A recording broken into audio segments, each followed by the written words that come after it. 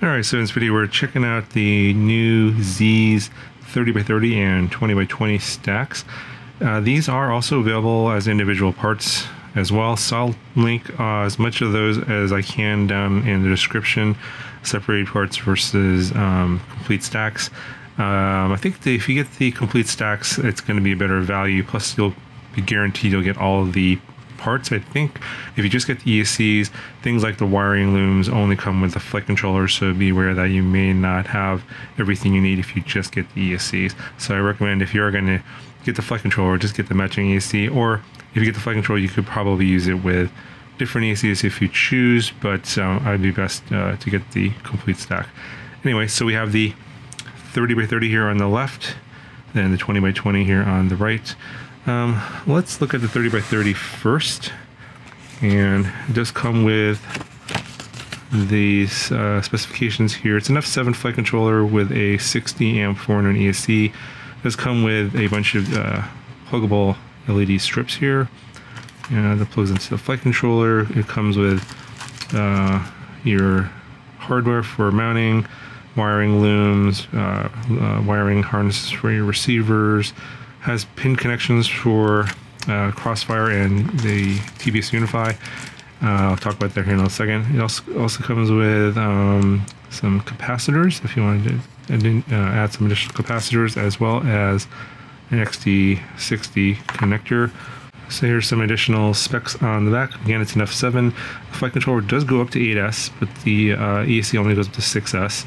Uh, 5 volt v, uh, BEC up to 3 amps.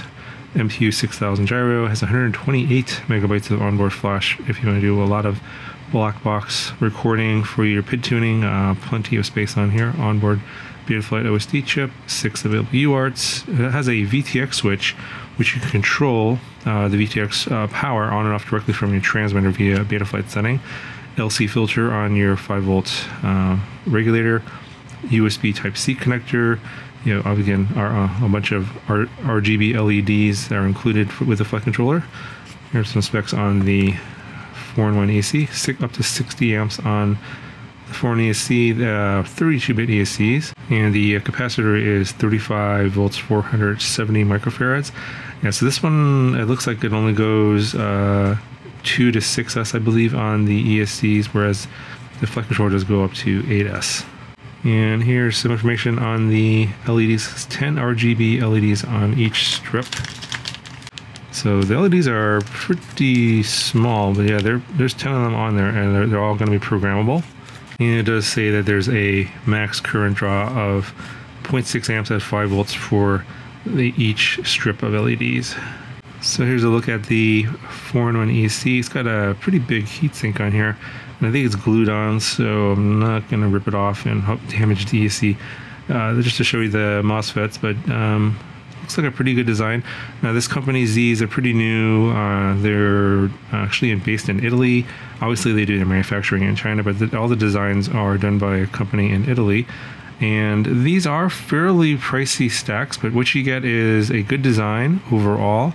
Um, I think it's well thought out and all it's very clean, as well as you get very good documentation. So um, on the product link page, there's going to be a link to the manual for uh, the 30 by 30. The manual for the 20 by 20 isn't out yet. This is pretty new, so we'll talk about that here in a second. The 20 by 20 is really similar to the 30 by 30. So if you're wondering, the differences are basically they kind of just took the 30 by 30, shrunk it down. So we'll talk about that here in a second. But you can see the uh, a 32 ESC, very large solder pads here for your motor wires, and uh, they're out on the side, going to be easily accessible, and they're outside of these. Uh, the mounting holes, which will make them easy to switch your motors in case you crash and damage a motor. Now, motor swap should be pretty easy. So they're they're nice and big on both the top and the bottom and here's a bunch of capacitors already here on this on the bottom here for filtering filtering. Got your shunt here for the current sensor. Got a bunch of pads here for your uh, motor signal wires as well as like ESC telemetry all that stuff. And it's on both sides. And that's in case you don't want to use the uh, wiring loom. So obviously all these pads are corresponding to these. So you got voltage ground uh, motor uh, wires 1 through 4 and then you have your current sensor and ESC telemetry Nice big pads here for your XT60 connector as well as the through holes here for the capacitor. So you just uh, slide the capacitor through and then uh, when you do the soldering it'll keep the capacitor in place. So that's kind of nice and you probably want to do that on top because the bottom here is not as big but you could uh, solder some additional stuff here to the bottom that may require battery voltage. All right, so just the uh, ESC by itself is coming in at 22.3 grams.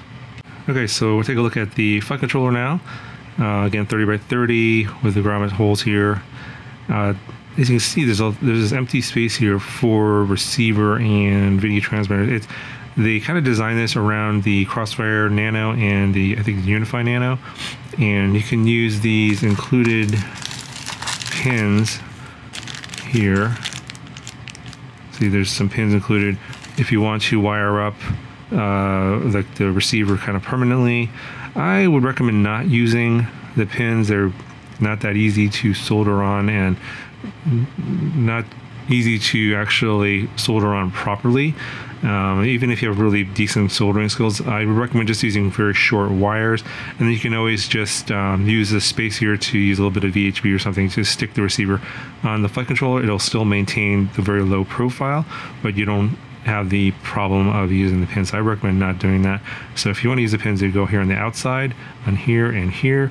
And then if you don't want to use these pins here or the, the pads on the outside here, there's pads available on the inside here as well for your ground receiver connection and your two UART connections. So the layout of the board's uh, fairly straightforward. So all on top here you have your connections for your camera. So you have a 5 volt ground camera and VBAT and your UART connection. So for the UART connection, you can either use camera control or joystick emulation or UART control, and you can choose between the two via this um, solder bridge here and it does explain which one to use in the main. I think it's to the left it's uh, camera control and to the right it's UART control. So for certain cameras that have UART control, like the RunCam cameras, you want to use the UART control and solder bridge 2 on the right. And then when you connect up your UART here to the camera, you can control it via Betaflight, or you can use joystick emulation if that's supported by your camera. Of course, joystick emulation is a little bit uh, not as reliable, so just keep that in mind. The additional UART connection up here I think this is a UART 5, 5 volts and ground, so maybe this might be good for GPS. Uh, boot button here, bootloader button there, and then you got this connection here, or this solder bridge here for your receiver voltage, so 3.3 volts bridge to 2 on the top, or 5 volts bridge to 2 on the bottom. This is uh, UART 2 and 4 for your receiver crossbar, as I mentioned before. Down here is going to be your voltage selection for the video transmitter. And so you can go either two, bridge of two on the right for VBAT, uh, two on the left for five volts, and that will give you the voltage here on your video transmitter. Got an extra five volts and grounds here, as well as uh, five volt and buzzer for your buzzer connection here with some through holes. And you got your USB C connector here. So yeah, I think uh, this company uses USB-C for everything, which is kind of I think the way to go. Um, I think uh, hopefully more companies are doing that and the Betaflight OSD chip there. And let's see on the bottom, more stuff. So you got your F7 chip here. I think this here is your black box um, flash data. So it's a pretty big uh, flash storage for your black box uh, recordings. All these plugs here are for the LEDs that I showed earlier.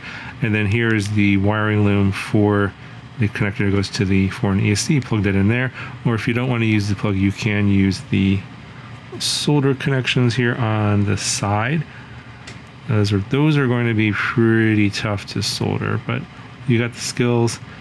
Um, yeah, those are available to you, but I would just use the, the connector. And I think you get the rest of the stuff down here. You get your gyro, uh, and you got your 5 volt BEC on the bottom. And the flight controller weighs 7.8 grams. All right, so let's take a look at the uh, 20 by 20 stack. Got your XT60 connector here, uh, wiring looms. Uh, this one goes from the ESC to the flight controller. Again, you get your pin connectors here. I imagine they've got the same sort of idea with uh, putting the Crossfire and the unify on there. We'll look at that. Look at that here in a second. Get your mounting hardware, extra grommets, and some screws, extra connectors and you have your capacitors. I'm wondering if they're giving you two of the same. So 35 volts, 470. Yeah, so they're giving you two, even though you only need one. Maybe if you want to have extra safety uh, safety margin, you could solder on two uh, extra capacitors. Probably doesn't hurt. And you have this wiring harness here. This is probably for the ESC if you want to go, go to some other types of flight controllers. And it looks like there's no connector on there, so you just have these servo leads, and then you can just cut those off and uh, use it for other flight controllers. So, okay, so let's take a look at the uh, ESC here. So 20 by 20 mounting holes, but you see that the edges do kind of go a bit further over. So you're gonna have to uh, keep that in mind in terms of uh, what kind of frame you can put it in. This might be pretty tight. Yeah, so the length is uh, 41 and a half millimeters and the width is coming in at about 34 millimeters. So you're gonna want to keep that in mind for your build. But again, you know, nice big solder pads for your motor wires. Uh, going to be very easily accessible in your build to swap them out if your motors get damaged. Shunt for your current sensor, a lot of filtering capacitors on this side. Big pads for your XT60 or XT30 along with the holes for the capacitor. Wiring loom to go to your flight controller. This is a 32-bit ESC again, 45 amps, uh, bursting to 55 amps. And this is also rated 3 to 6S. It doesn't go up to 8S, 8S like the flight controller. And you have these connectors here, pads for your wires for the uh, motor signal connectors, uh, VBAT, ESC telemetry, and current sensor if you don't want to use the wiring loom. So yeah, um, people that want to solder, that's a really good option. More filtering capacitors here on the bottom as well. And looks like they have a little bit of a coating on the bottom of the ESC. So, I think this is probably some sort of conformal coating. So if you get a little bit of uh, water on the bottom, it's probably going to be okay.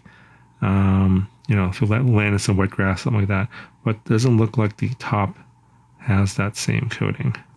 All right, the 420C here weighs um, about 10.1 grams.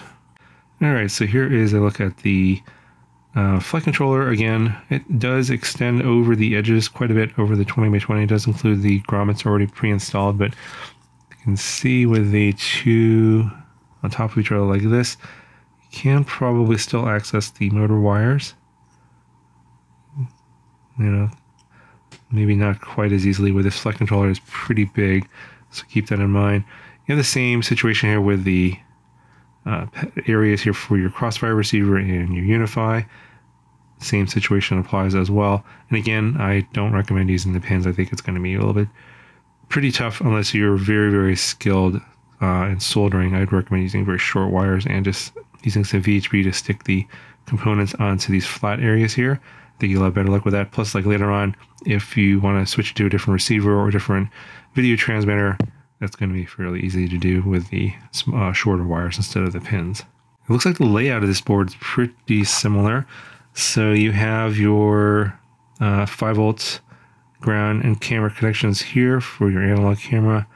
And I don't see the bridges for the uh, UART control versus camera control or joystick emulation. And well, that would be on this side here. And so they move the uh, solder bridge to the underside here. So if you bridge these two on the top, That'll be UART control, and the two on the bottom will be joystick emulation. Got your Betaflight OSD chip here. You got your F7 chip here. This is an F722.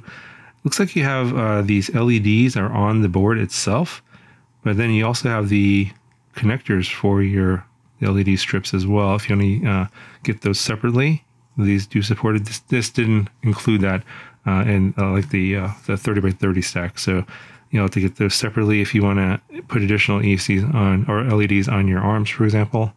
So just like the uh, 30 by 30, this does have six full UARTs, and so they're kind of all over the place here.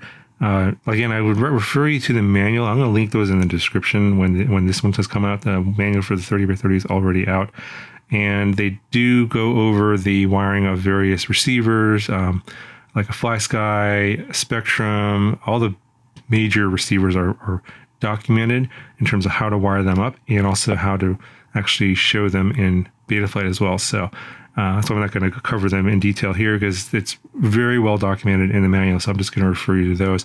Uh, it's pretty straightforward, and uh, they, they're going to do a better job than I am in terms of explaining it. So the uh, solder bridge for the VTX voltage is here. So two on the left for 5 volts and two on the right for VBAT. And you get your same uh, VTX connections here on the bottom. And it looks like over here for these four pads, you have UART 5. So that could be something like a GPS, for example. And over here, you got your bootloader button. All right, so moving on to the bottom, again, you get your black box chip here, uh, MPU 6000 gyro, your 5 volt 3 amp regulator, USB-C connector here, and I think that's pretty much it. There's the solder bridges, as I mentioned over there. And then the solder bridge for your receiver connections right there, 5 volts for the two on the top, and 3.3 volts for the two on the bottom. And then your connections for your buzzer are right there on these two pads. It's very tight, and it looks like it has pretty much all the same stuff as the full size 30 by 30, just in a more compact space. And uh, I think the also for both the boards, there's a 5 volt, uh, or for the 5 volt regulator, there's an LC filter. So for the uh, video transmitter and cameras, so you should get a very clean video with either one of these stacks. Okay, so that's going to do it for this video on the 30 by 30 and 20 by 20 stacks from Zeez. I'll have all the links to everything down in the description if you guys want to have additional information. I will definitely be putting these into some kind of future builds. Not sure exactly when, but these are high quality components, and I think that they're going to perform pretty well for most situations. Um, but I'm going to put them in something in the near future, so stay tuned for those videos. If you have any questions, let me know, and I'll talk to you guys in the next video.